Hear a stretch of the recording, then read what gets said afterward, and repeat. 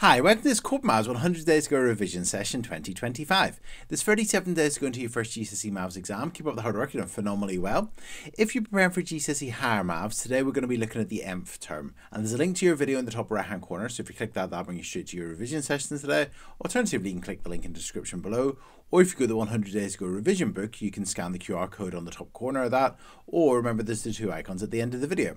So 37 days to go if you're preparing for GCSE Higher Maths, we're going to be looking at the nth term.